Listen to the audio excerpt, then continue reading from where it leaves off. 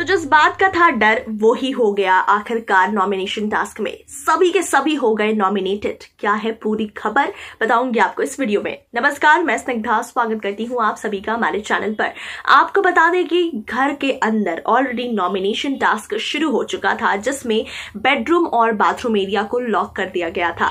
अब इसी डिस्कशंस में दोनों आ, सारी टीम जो है सारे कंटेस्टेंट जो है लड़ाई झगड़े पंगे लेने लगे और कोई भी डिसीज़न नहीं ले पा रहा था कि आखिरकार किसको कौन सा एरिया दिया जाएगा। जिसके बाद सभी के बीच हुए पंगे को देखते हुए बिग बॉस का फूटा गुस्सा और बिग बॉस ने फाइनली फरमान सुना दिया कि इस हफ़्ते सभी के सभी कंटेस्टेंट हो चुके हैं नॉमिनेटेड जी हाँ कंटेस्टेंट को जिस बात का था डर, यानी सभी कंटेस्टेंट्स जिस बात से डरते हैं, वही हो गया है। इस बार फिर से सभी कंटेस्टेंट हो गए हैं नॉमिनेटेड अब इस बार देखना बहुत इंटरेस्टिंग होगा कि इस बार के वीकेंड के वार पर कौन सा सदस्य हो जाएगा घर से बेघर।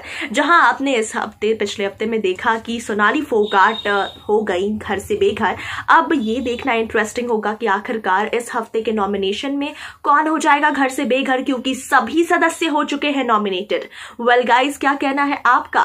क्या लगता है आपको कि कौन हो जाएगा इस बार घर से बेघर? कमेंट करके बताएँ हमारे कमेंट सेक्शन में. तमाम बॉलीवुड और टीवी दुनिया से जुड़ी हरी खबरों के लिए देखते रहिए हमारा चैनल